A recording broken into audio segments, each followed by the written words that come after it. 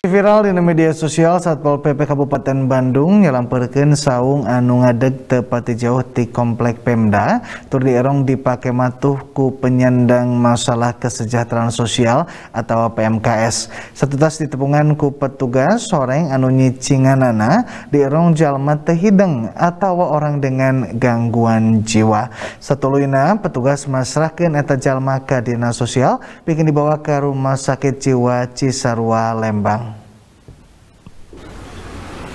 Nya kawas gitu tempat ngadegna wangunan ilegal atau saung anu pernah na digedengen komplek pemerintah daerah Kabupaten Bandung Soreang.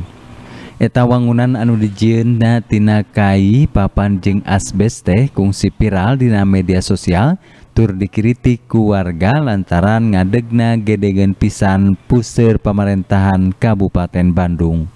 Samemehna eta saung anu bacacar kuruntah teh dierong dicicingan ku penyandang masalah kesejahteraan sosial atau PMKS. Tapi nalika dipaluruh ku petugas Satpol PP Kecamatan Soreang Kabupaten Bandung poe Rebo Berang, horeng jalma kurang hideng alias orang dalam gangguan jiwa atau ODGJ.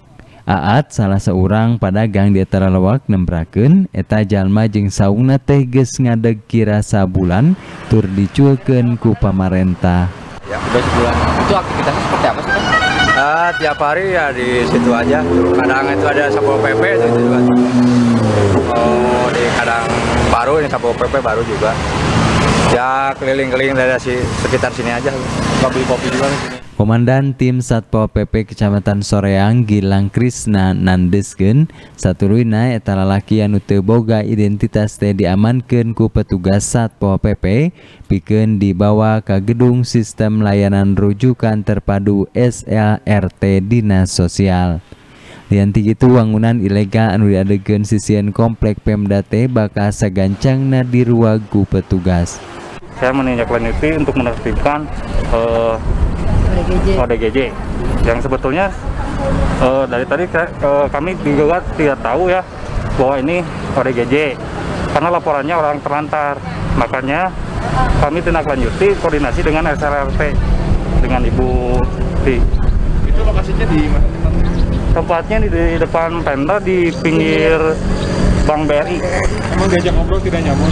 Ya, Sajeroning itu petugas pekerja sosial masyarakat Dinas Sosial Kabupaten Bandung Eti Herawati ngeceskeun lantaran eta warga teh teu diwegan ku dokumen atawa data diri pribadi pihakna bakal mawa eta ODGJ ka Rumah Sakit Jiwa Cisarua Lembang lantaran di Kabupaten Bandung mah taya rumah sakit jiwa.